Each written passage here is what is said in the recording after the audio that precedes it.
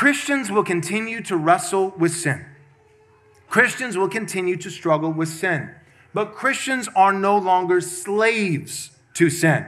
And Christians will be tempted and prodded and poked and bugged by the enemy. We will at times be oppressed by the enemy. There is such a thing for the Christian as spiritual attack.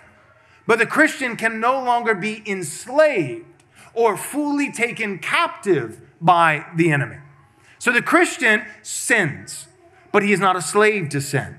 And the Christian is tempted and oppressed in varying degrees, at varying times, in varying ways by Satan, but he is not a child of Satan. He is not held fully captive by Satan. There is freedom from Satan and freedom from sin. The three P's when it comes to sin, the easiest way to remember this Christ has fully, uh, fully broken or fully paid for the penalty of sin.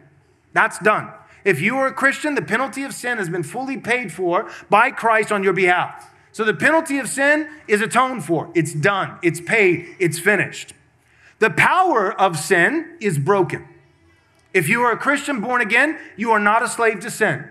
However, in this life, not forever, but in this life, the presence of sin remains. So for the Christian, penalty of sin, done. Power of sin, broken presence of sin ongoing in this life only.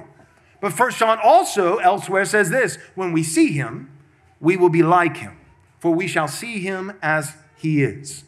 What John is referring to is that final day when this life comes to a close, when we stand before Christ, when we see him, we shall be like him, not like him in every regard.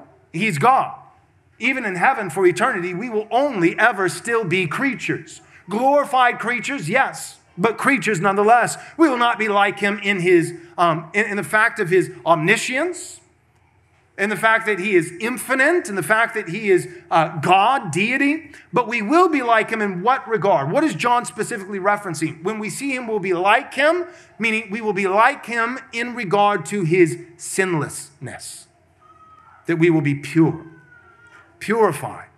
That the presence, not only is the power of sin broken, that's done even now if you're in Christ.